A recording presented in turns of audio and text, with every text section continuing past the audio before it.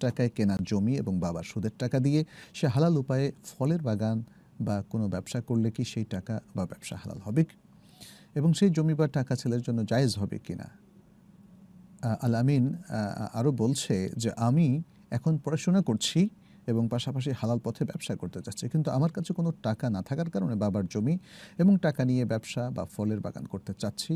এই প্রশ্নটা জানা খুব জরুরি ছিল আমার জন্য।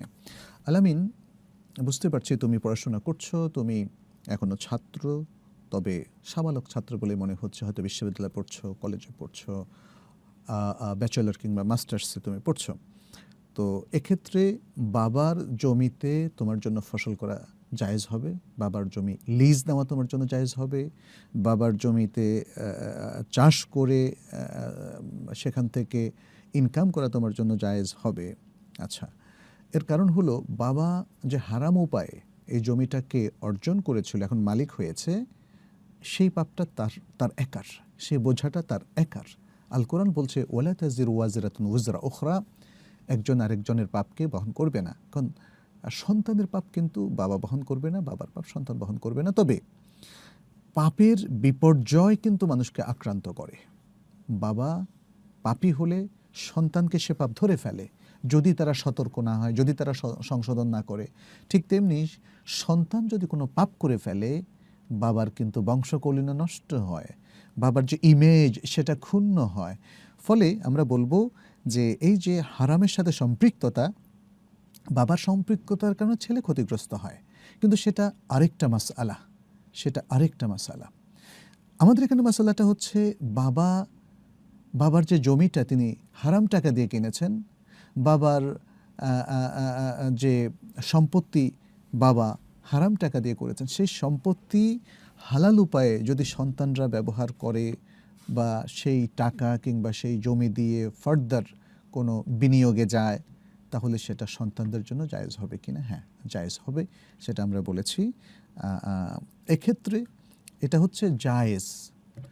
কিন্তু প্রিফার্ড হচ্ছে যে এই ধরনের হারামের সম্পৃক্ত হারামের সাথে সংশ্লিষ্ট সব জিনিস বাদ দিয়ে পিওর কোনো হালাল টাকা, হালাল টাকায় কেনা জমি, হালাল টাকার বিনিয়োগের মধ্যে যদি নিজেকে সম্পৃক্ত করা যায়, তাহলে একটা আত্মতৃপ্তি থাকে, একটা আত্মমর্যাদাবোধ কাজ করে এবং নিজের মধ্যে একটা কনফিডেন্স চলে আসে যে আলহামদুলিল্লাহ আমি কমপ্লিটলি সব দিক থেকে হালালের মধ্যে আছি।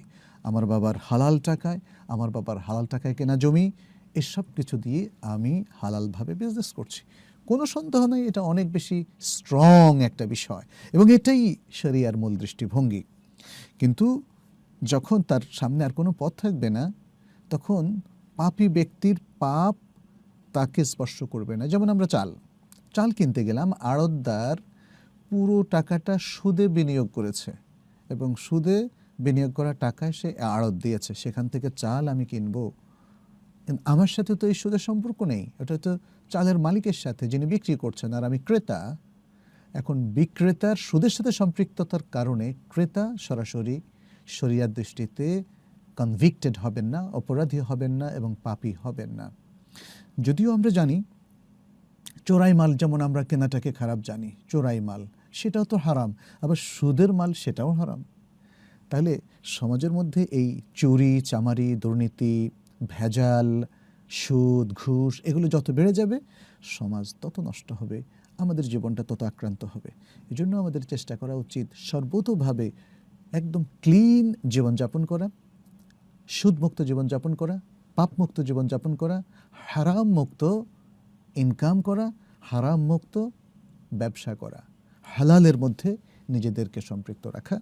আমার মনে হয় আমার এই আলোচনা থেকে আপনি বুঝতে পেরেছেন যে আপনার জন্য মানে এই মধ্যর অবস্থায় কি জায়েজ আর কোনটা হলো আইডিয়াল পজিশন? ইসলামের আদর্শিক পজিশন আমার মনে হয় সেটা স্পষ্ট হয়ে গেছে।